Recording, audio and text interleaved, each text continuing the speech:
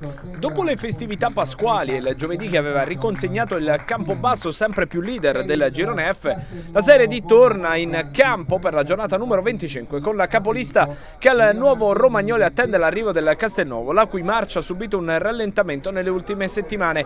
I neroverdi sono reduci da due sconfitte e un pareggio nelle ultime tre uscite proprio in Molise. Cercano il riscatto con una freccia tutta nuova nello scacchiere tattico di Guido Di Fabio. Si tratta di Davide Verdesi, esterno attacco classe 2002, che nella prima parte di questa stagione ha vestito la maglia del Pineto con buone prestazioni, mettendo anche nel suo personale score un gol e due assist. Partita difficilissima dunque per l'11 abruzzese perché dalla parte opposta troverà una formazione quella di Cudini che adesso sogna di dare la strattonata decisiva al campionato prima dello stop che ci sarà tra 15 giorni per permettere di disputare i recuperi. Di Fabio però dopo le due giornate di stop per squalifica ritrova Massimo Loviso, Cudini perde per un turno al centro della difesa dal Mazzi.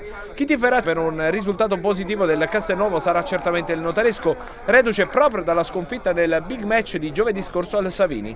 I punti di distacco in classifica in questo momento rispetto al campo basso sono 5, ma il notaresco deve recuperare una gara in più rispetto ai molisani e questo almeno potenzialmente potrebbe portare le distanze a ridursi fino al meno 2. Il problema, anzi i problemi, sono due. Il primo è che il campo basso è in fiducia e galvanizzato, il secondo è l'avversario che l'11 di Epifani si troverà di fronte domani, il Castelfidardo.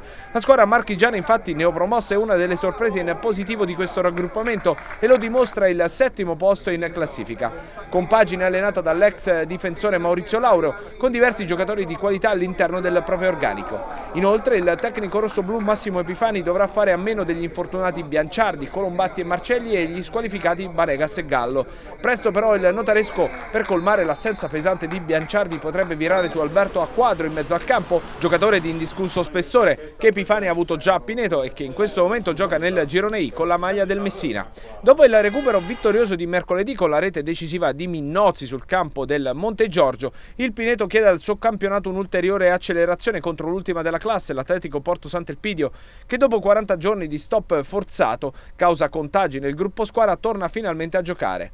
Ieri pomeriggio infatti sono stati effettuati tamponi di rito che hanno dato esito negativo per tesserati staff e dirigenti della squadra marchigiana. Affrontiamo una squadra che ha cambiato allenatore da poco, è normale non affronta un ottimo momento di classifica, però le partite che ho visionato, che ho visto ultimamente loro, sono, eh, ti fa capire che è una squadra che la partita se la gioca, come detto tutti da filo da torcere, quindi non è una partita facile, non è una partita facile. No, no, sicuramente. Eh, per la vittoria di, mercoledì siamo molto contenti perché, come ti avevo detto in precedenza, è una vittoria che noi ci aspettavamo tutti. Eh, l'abbiamo raggiunta con merito, però adesso, come hai detto tu, non ci dobbiamo fermare. Sappiamo che affrontiamo una buona squadra che sta in difficoltà, però io sinceramente sono un po' preoccupato per domenica perché domenica è una classica partita che hai tutto da perdere e nulla da guadagnare, quindi dobbiamo essere bravi noi a impattare subito la gara con la cattiveria giusta, la concentrazione giusta e portare subito la gara dalla parte nostra. Trasferta complicata infine per il Giulianova Rieti, i laziali a distanza di parecchie settimane ritrovano lo stadio consueto, il Maglio Scopigno, dopo aver disputato le ultime gare al Gudini.